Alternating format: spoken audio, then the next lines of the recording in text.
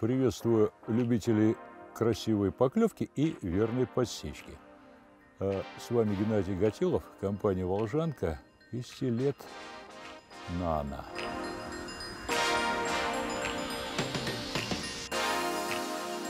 Что такое нано-стилет?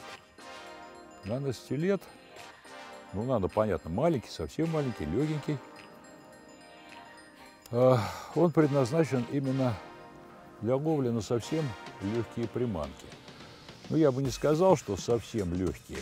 А, На самом деле в комплекте идут четыре вершинки, сменные, а, которые позволяют ловить с приманками от 0,5 до 8 граммов. Ну, я бы сказал, даже и перегрузить можно и 11 грамм.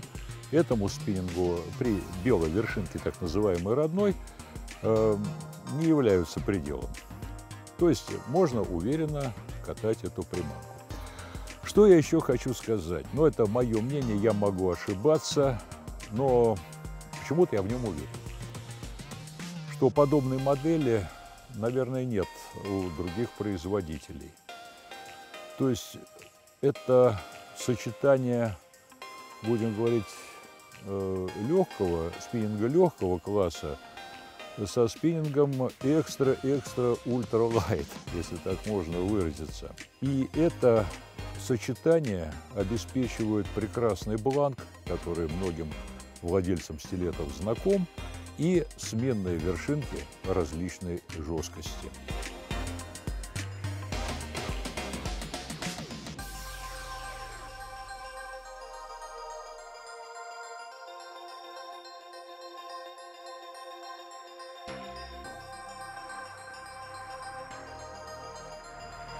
Ну, для любителей мармоспина, ну, это как бы наработки э, мои, точнее, моих друзей, мои. Я ска- хочу сказать следующее. Вот у меня здесь стоит огромная объемная приманка. Вот, Андрюша мне делал их, э, мы с ним обсуждали эту тему. Именно объемная приманка, но очень легкая, она из, э, легких- из легкого сплава сделана.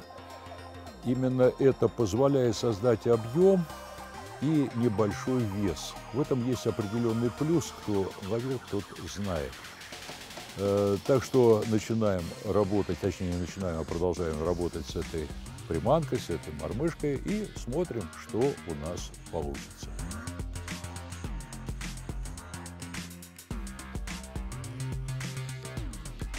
Э, Вы не поверите, но на близких дистанциях, ну, порядка 5-7 метров, я прекрасно ощущаю игру мормышки, я ее чувствую.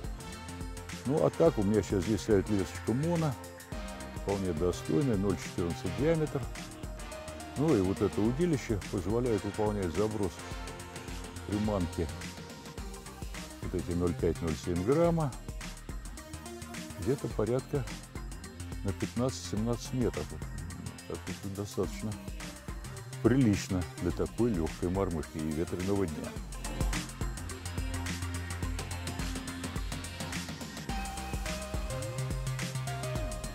Ну вот, тем не менее, рыбу мы все-таки поймали. Нам подарок водохранилище сделало такой замечательный. Но у нас другие цели и задачи. Мы продолжаем показывать работу стилета «Нано» с другими вершинками. Сейчас мы поменяем ее на так называемую родную и оценим, насколько это будет целесообразно. В принципе, можно аппроксимировать и понять, как работают остальные вершинки. То есть что-то между самой мягкой и самой жесткой. Смотрим, как работает самая жесткая вершинка. Да, я еще хотел вот что важное сказать. А, Владельцы стилета «Нано» иногда высказывают недоумение э, по поводу именно заделки э, колец на самых тонких, самых нежных вершинках. Я сейчас постараюсь все это объяснить. Катушечку поменяем. Дело в том, что пока еще нет э, таких маленьких тюльпанов, то есть их никто не производит для таких тонких вершинок. Поэтому производитель, и мы согласовали все это дело, ставит сюда маленькие раннинги. Точнее, это тонкая проволока, но внутри каждого колечка вварена твердосплавная вставка, что защищает кольца от тропила и наносит, будем говорить, минимальный ущерб леске. Итак, меняем вершинку, их вот у нас здесь комплект Помните, я говорил, а кто не помнит, я еще раз покажу, как выбрать самую мягкую и самую жесткую вершинку.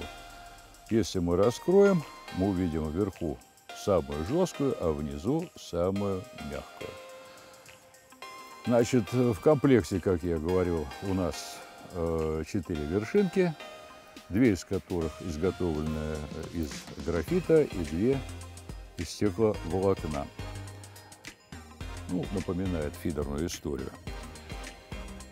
Итак, ставим самую мощную, ту, та, которая изначально рассчитана 8 э, грамм, но я говорю, что можно работать и с э, приманками весами 12, даже 14 грамм, но при этом надо соблюдать аккуратность.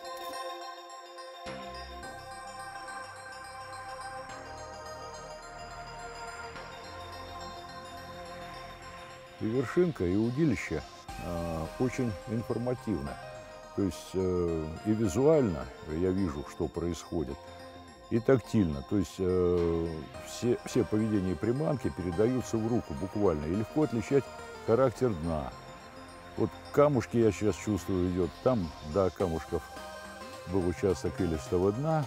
Вот я какой-то засыпал мусор небольшой, и все это чувствуется, даже вот такой вот малюсенький, малюсенький веточка, вот такая, чувствуется, что произошло что-то с блесной.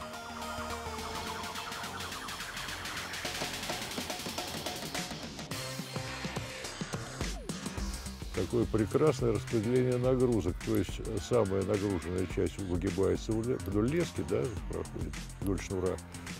Все остальное распределяется по блатку. Очень красивый, гармоничный изгиб.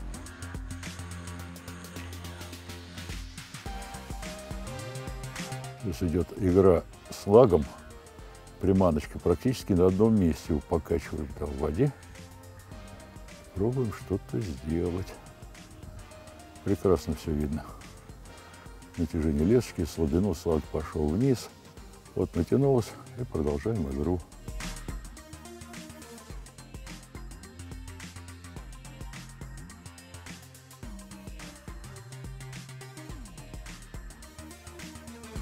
Вот такой, можно сказать, э, обширный обзор получился по стилету Нано. Что еще можно сказать о ней, об этой модели? Длина ее с вершинкой, разумеется, с первой секции 2,13 метра, то есть 2 метра 13 сантиметров. Э, материал здесь среднемодульный графит. Э, я хочу еще здесь обратить внимание, зависит от плетения полотна. И очень много сейчас зависит от связующего, то есть то, что связывает графитовое полотно и режимы полимеризации этого состава. Очень удачно подобраны и материалы, и технологии.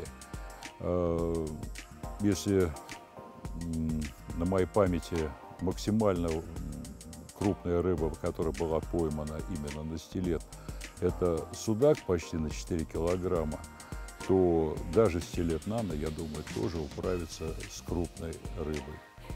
А на этом я с вами прощаюсь. С вами был Геннадий Готелов, компания «Волжанка» и стилет нано, который я вам рекомендую.